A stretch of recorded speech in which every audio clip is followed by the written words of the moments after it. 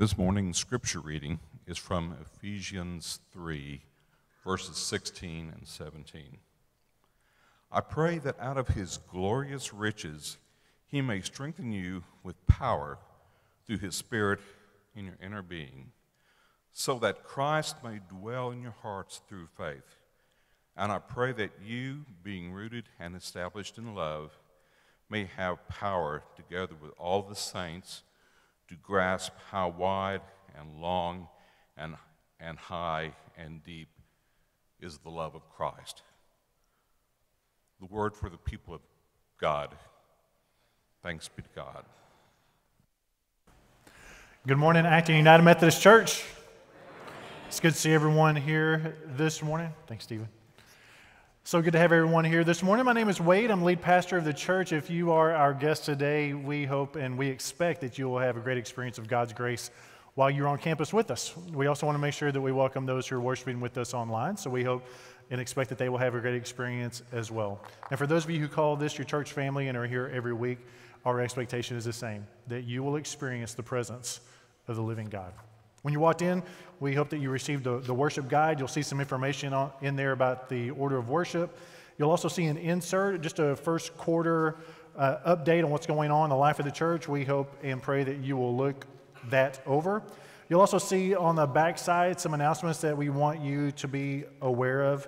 And you can sign up for any of those items by tearing off that tear off sheet uh, sign up for it, making sure we have your name on the other side of the tear off sheet. And then when the offering plate is passed, you can place all of that in the, in the plate, and we would greatly, greatly appreciate it.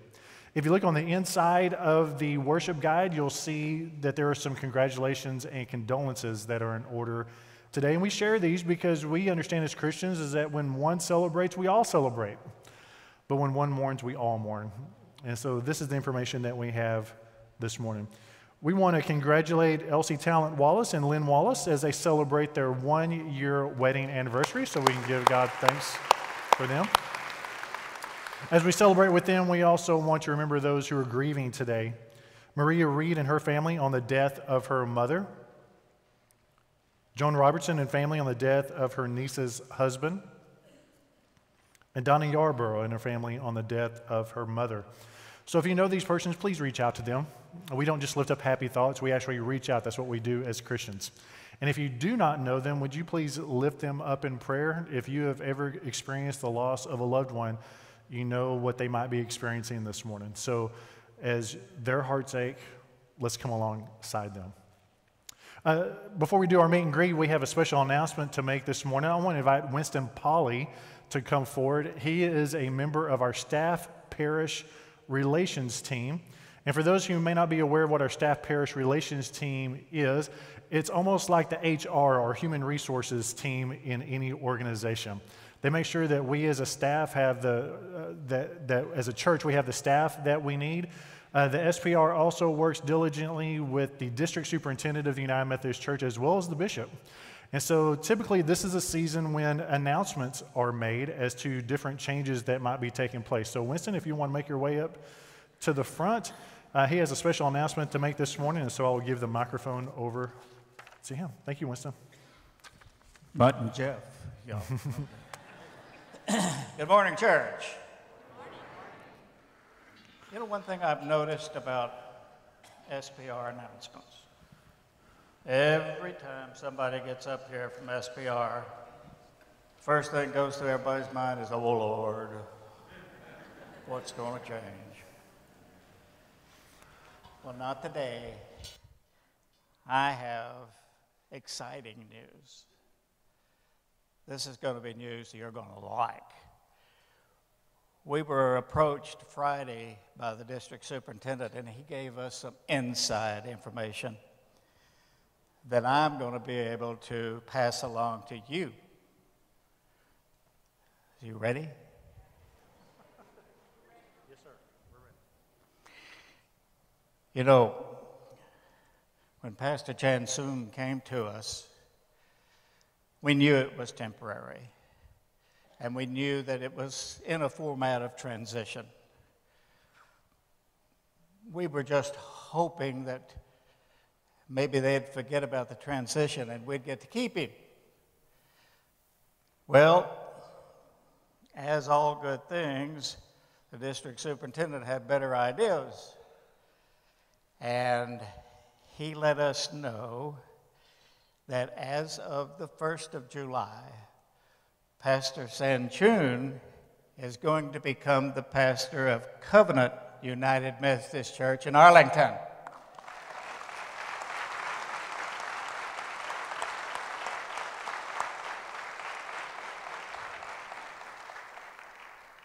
But that's not all.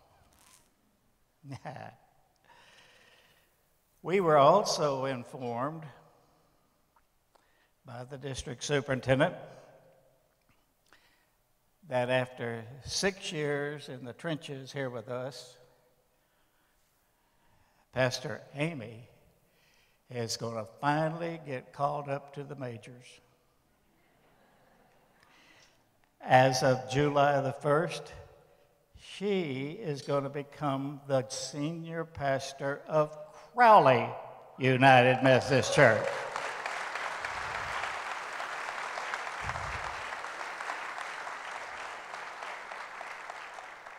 Now, let me tell you, the both of you, something.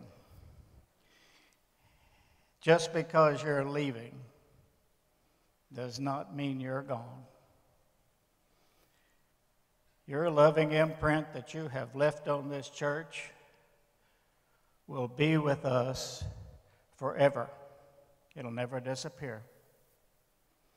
You will always be remembered and always be revered.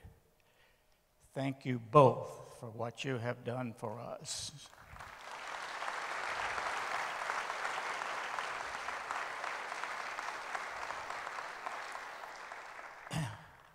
There will be more information regarding a appreciation celebration a little bit in the future. Thank you, Pastor Wade. Appreciate you. We're so excited for Pastor Amy and for Pastor Chan Chansoon, and we're so excited that we've had them for the season, like Winston has stated, and we look forward to coming alongside them as they move on to their next journey of faith. And so, well, you know, in just a few moments and throughout the next eight weeks, you'll want to be able to say hi and congratulate them and give them a, a high five in Jesus' name for the journey that they are about to begin. Uh, next week, we will make uh, announcements on some additional staffing that will be coming our way. But we're so thankful that all of you are here this morning. Now, if you'll take just a few moments, stand up and find someone you haven't said hi to yet and greet them with the love of Christ.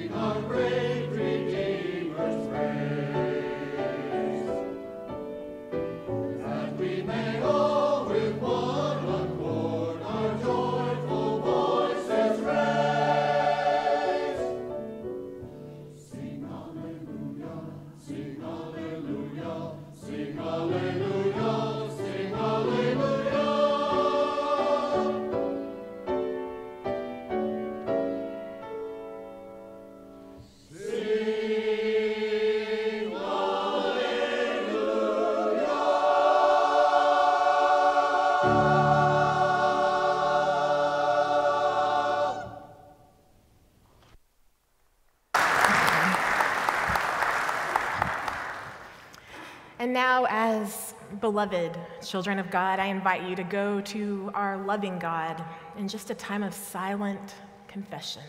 God will meet you wherever you are.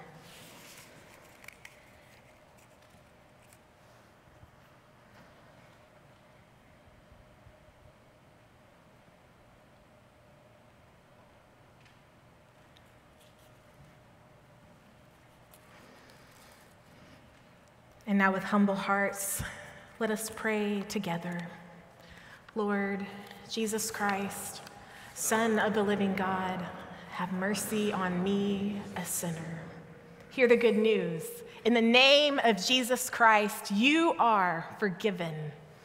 In the name of Jesus Christ, you are forgiven. Glory to God. Amen. As we continue together as a body, we invite you to lift up a joy or concern on your heart today, and we will respond together. Lord, hear our prayers. So, what is it we can pray for this morning? Lord, hear our prayers. Lord, hear our prayers. Lord, hear our prayers. Faithful God. It was only last week that we stood here and, and sang the Hallelujah chorus and proclaimed that you, your Son, had conquered death and risen. Today we proclaim that that truth still stands. That even when we turn on the news and we see reports of bombings, of persecution, of, of lives being lost, the Easter message still stands. That even when we hear of change and transition, the Easter message still stands. That even when we consider that our loved ones may at some point go and be with you, the Easter message still stands. God, you are greater than anything that we can comprehend and your love. Your love far exceeds anything that we can understand in our humanness. We pray today for those around the world who are grieving, who have been devastated. Help them to believe with all their heart that because of your resurrection, even on their worst day, they can have hope Help us to believe that in our personal lives. We pray today for our local churches. We pray for the Triple Cross Cowboy Church. You know their needs, Lord. May your Holy Spirit be at work in them. As we pray today for our brothers and our sisters, we want to pray for those of us from our congregation who have gone this morning to serve at Sager Brown this week. Be with them in their mission, guide their hands and feet. Lord, as we pray for ourselves, as we pray for those on our hearts, we ask that you would help us to find hope and strength in your Easter message. Because Jesus lives, you will have the last word. Thank you, Lord, for your faithfulness. Thank you as Easter people, let us pray together the prayer that our Lord Jesus taught us to pray. Our Father, who art in heaven, hallowed be thy name. Thy kingdom come, thy will be done, on earth as it is in heaven. Give us this day our daily bread, and forgive us our trespasses, as we forgive those who trespass against us. And lead us not into temptation but deliver us from evil. For thine is the kingdom and the power and the glory forever. Amen.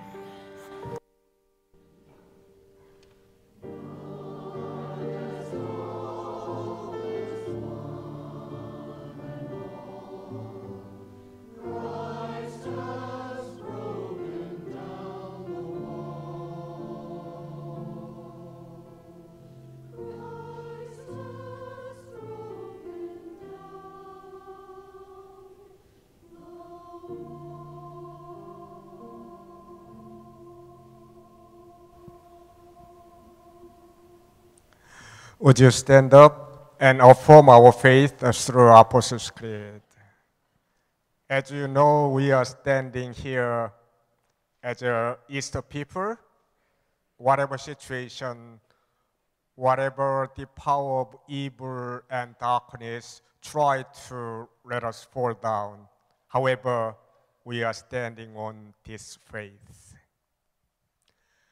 I believe in God, the Father Almighty, maker of heaven and earth, and in Jesus Christ, his only Son, our Lord, who was conceived by the Holy Spirit, born of the Virgin Mary, suffered under Pontius Pilate, was crucified, dead, and buried. The third day he rose from the dead. He ascended into heaven and sit at the right hand of God, the Father Almighty. From thence he shall come to judge the quick and the dead. I believe in the Holy Spirit, the Holy Catholic Church, the communion of saints, the forgiveness of sins, the resurrection of the body, and the life everlasting. Amen. Would you be seated?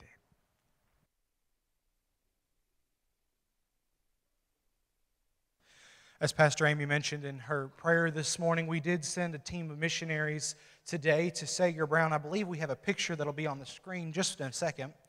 We send about uh, 10 people to Sager Brown. That is a United Methodist Committee on Relief depot out in Louisiana.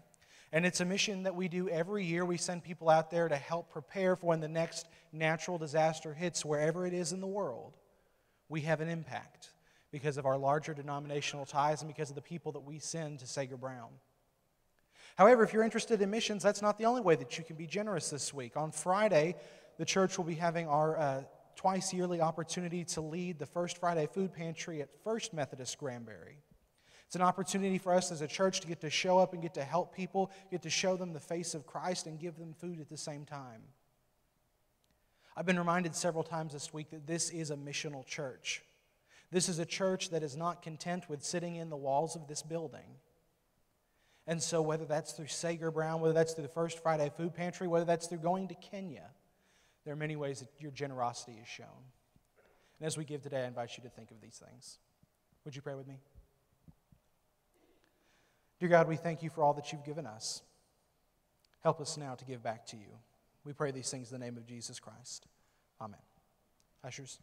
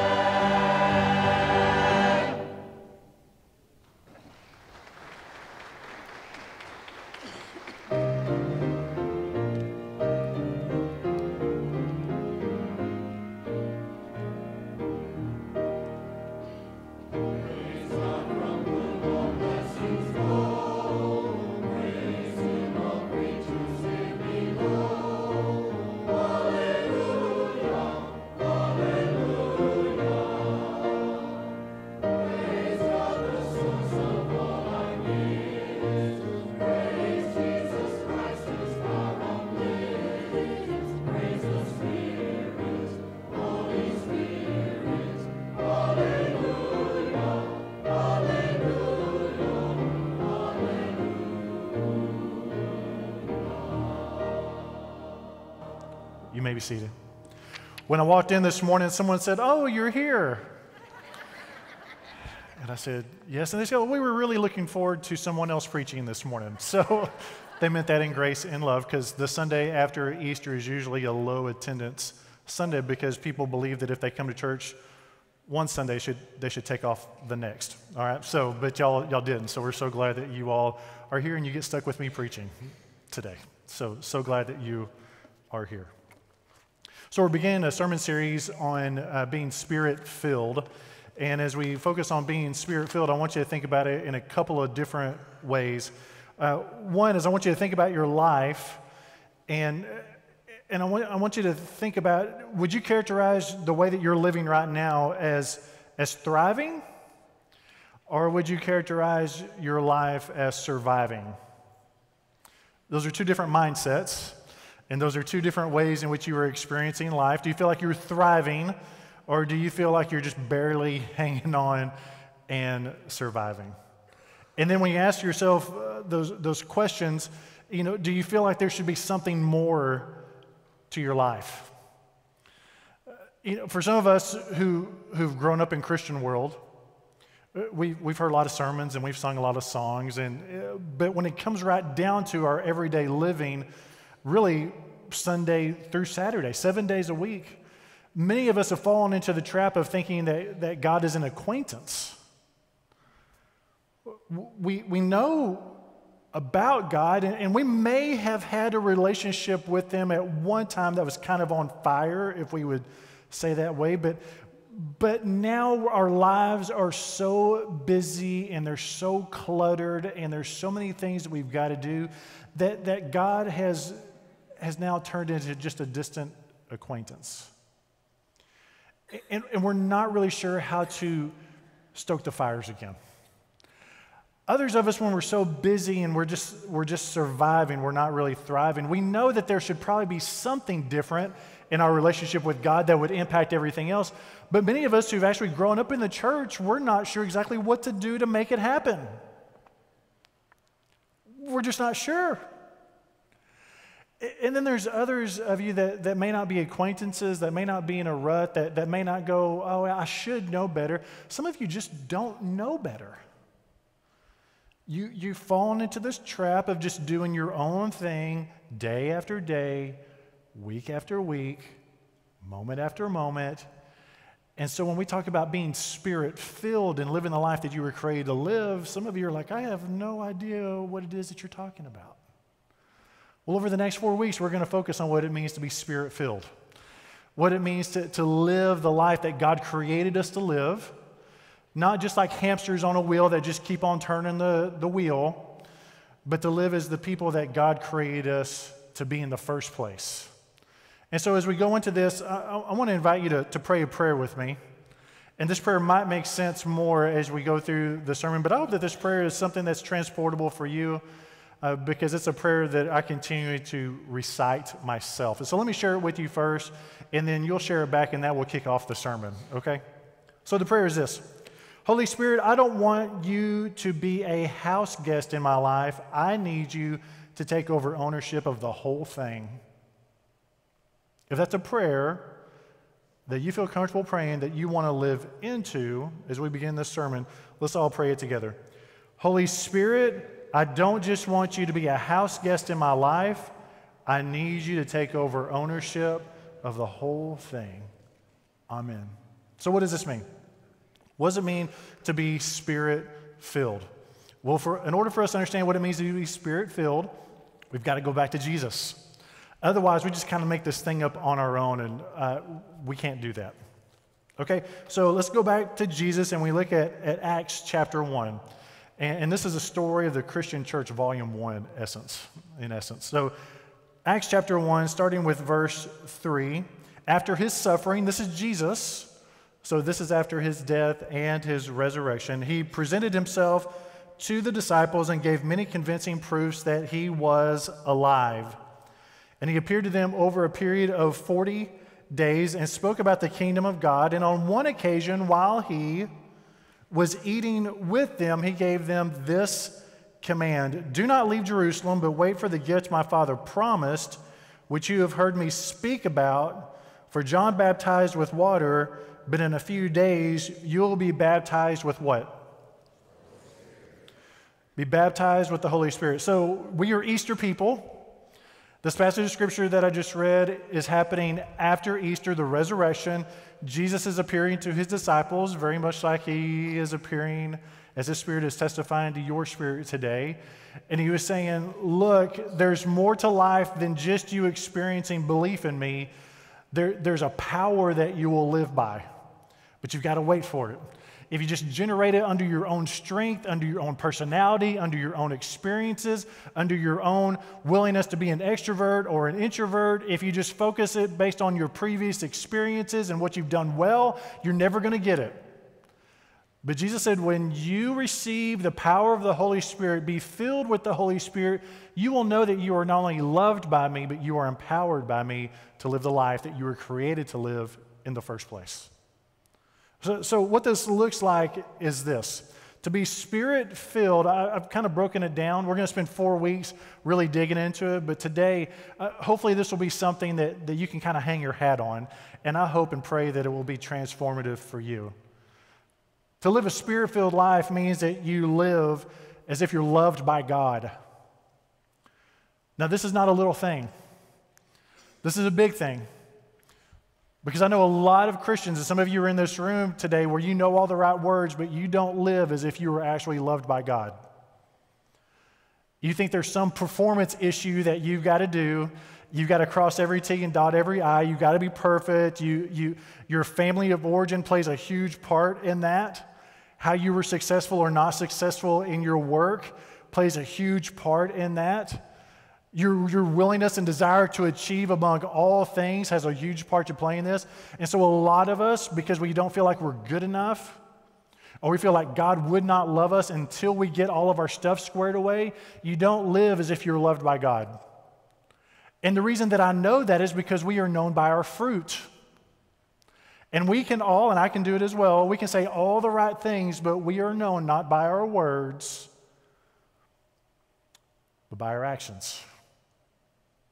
In fact, uh, let's go, let's go back to Rome as the early Christian church. Here's what the Apostle Paul was writing to the Christians in Rome about being uh, loved by God and living that way. Paul reminds the Christians that for those who are led by the Spirit of God are the what of God?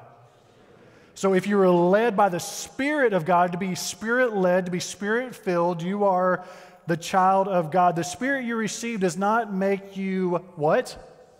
Yes, so that you live in fear again. Rather, the Spirit that you received brought about your adoption to sonship or daughtership. And by Him we cry, Abba, Father. The Father Himself testifies with our spirit that we are God's children. So to be spirit filled means that you live loved by God. Not based on your perfection, not based on how great you've been, not really based on whether you've really lived a really interesting and up and down life. That doesn't disqualify you. What qualifies you to live loved by God is the love of the Father. Where because of that love, we are embraced by God and we look into the eyes of the loving Father and we go, What's next, Papa? I know that I'm loved by you. What's next? Maybe you have had a physical father that was anything but loving. Maybe you learned to distrust because of your father figure in your life. And because of that lack of trust and understanding of the love of the Father, it really makes it difficult for you to, to cross over that threshold to understand the love of the Father in heaven.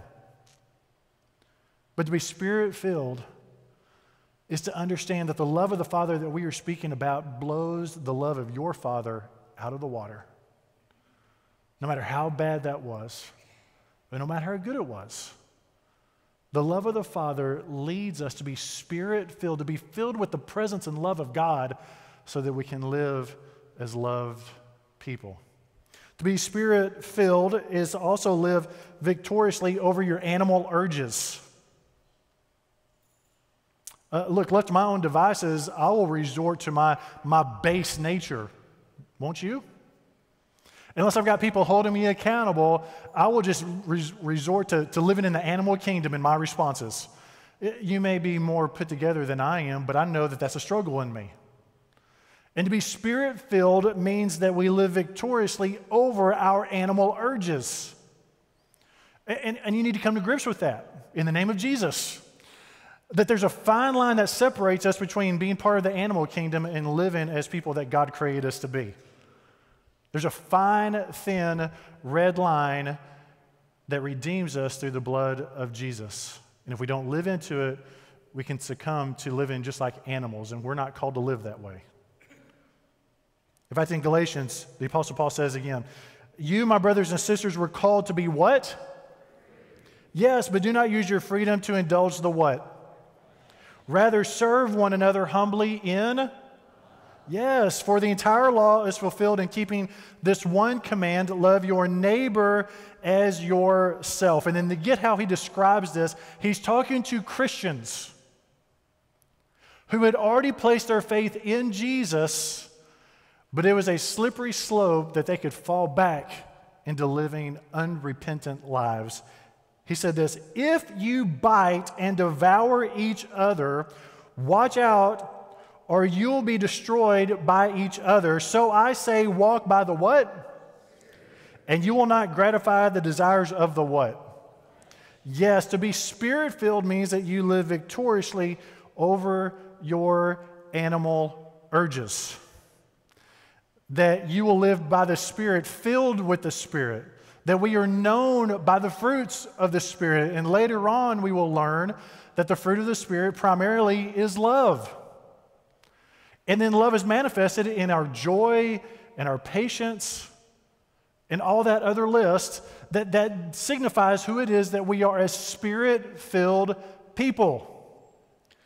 So, when you think about your life this week and if you're surviving or thriving, for those of you who think that you are thriving, let me, let me ask you that only you can answer.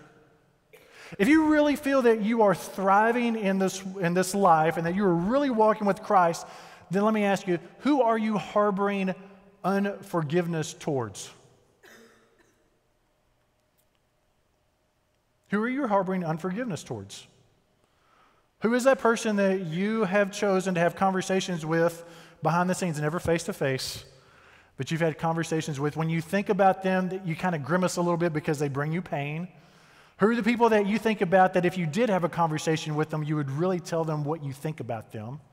If you think that you are thriving, but yet you harbor unforgiveness, you are not thriving, you are just surviving. You are really giving in to your base animal nature. If you gossip, you are giving in to your base animal nature, even if you think you are thriving. So, forgiveness and, and gossip and slander. And if you're not reaching out to those who are in need, you are not thriving, you are just surviving. And the Apostle Paul tells us what it means to live spirit filled lives, not based on what the flesh desires, but based on what the Spirit desires. So let me, let me just dig in just a little bit more on this Husbands, when you interact with your wife and with your kids, no matter how old you are, are you being led by the Spirit and are you loving your spouse sacrificially and submitting to them like you submit to Christ? Or are you a holy terror to your spouse and kids? Let me ask this question What would others say about you? And wives, are you always nitpicking on your husband or your kids or your neighbors? Are you, are you snooty? Is your nose so high up in the air that you drown when it rains? That, that's your base nature. That's your flesh. And we are called to be spirit filled and spirit led, not be led by the flesh. We also understand what it means to be spirit filled is that you live with purpose on purpose. I think sometimes we as Christians, we just kind of have this hope so, think so. We're just going to kind of float through life. And if we're just nice to, to stray animals and, and, and little kids and, and we don't cause too much of a problem, then we're living a life well lived. And that's a lie of the devil. We're to live on purpose, for purpose, as spirit filled people.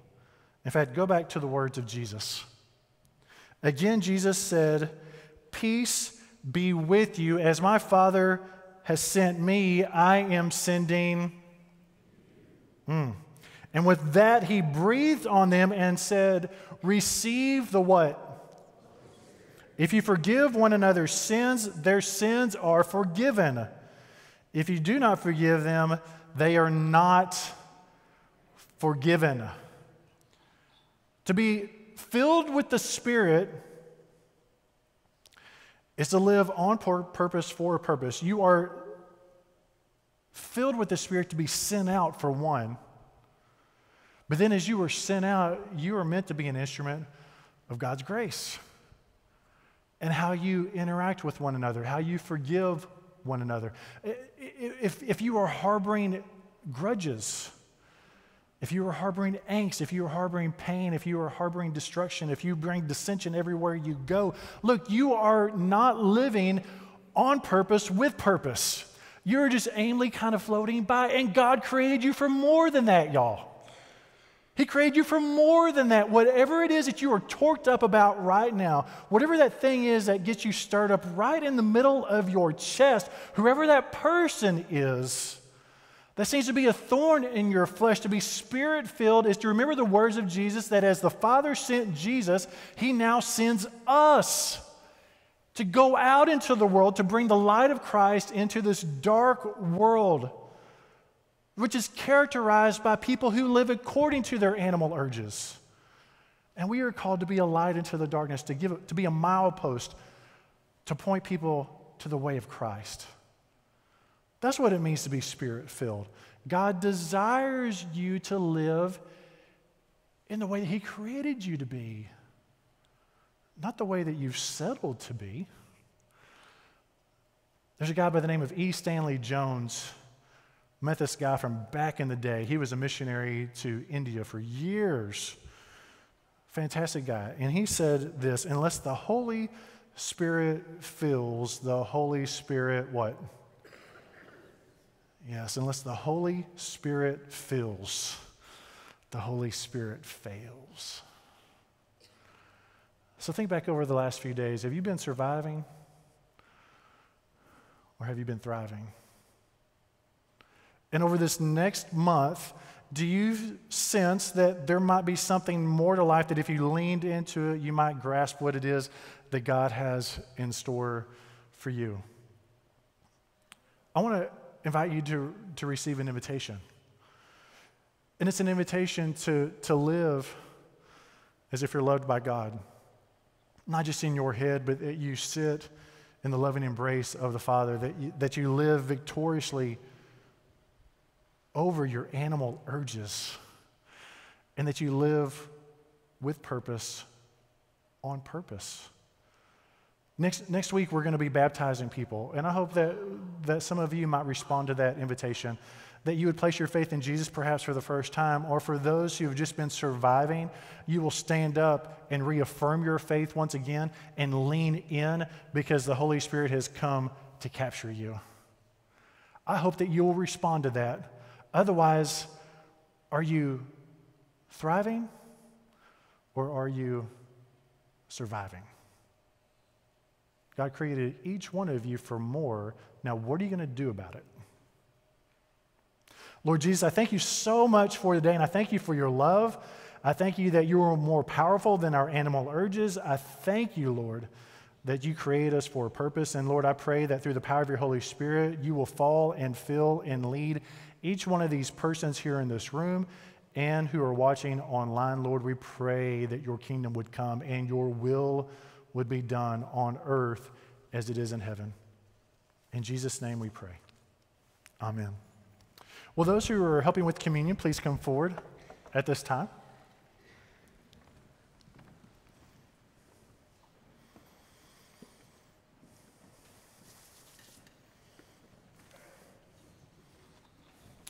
On the night which Christ gave himself up for us, he had dinner with his disciples, and at this dinner, he took a loaf of bread and he gave thanks to God, broke the bread, passed it amongst his disciples, and said, Take and eat, each of you. This is my body, which is broken for you and for many for the forgiveness of sins. As often as you take it, do it in remembrance of me.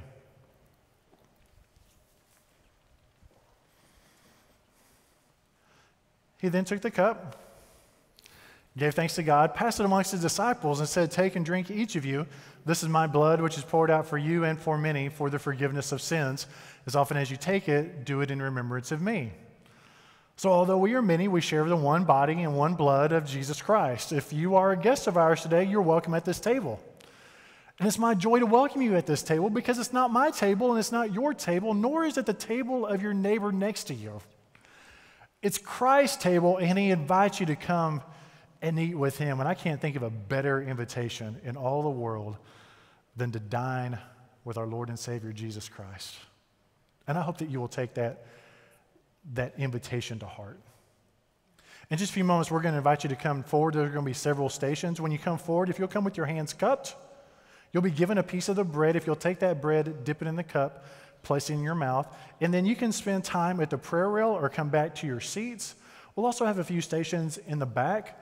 Th- this is something that we're living into in the traditional service. We've been at it for about four weeks now.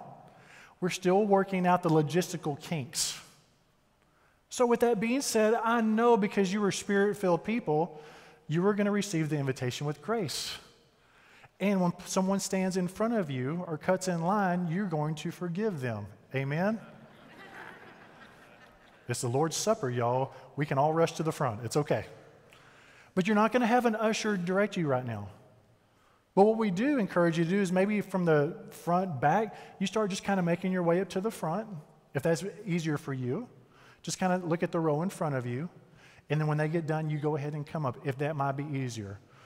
Or you can just run up to the front. It's completely up to you. It's dinner. The bell has been rung. Let's eat. Let me pray for you, and then we're going to invite you to come forward. Lord Jesus, thank you so much. We pray your blessing upon this bread and cup that they will be for us your real, tangible presence. Lord, we thank you for your grace and for your mercy. And Lord, we thank you that your intentions for every person in this room is greater than anything they can even imagine. Draw us to you, Lord. In Jesus' name we pray. Amen. Will you come and feast at the table of our Lord?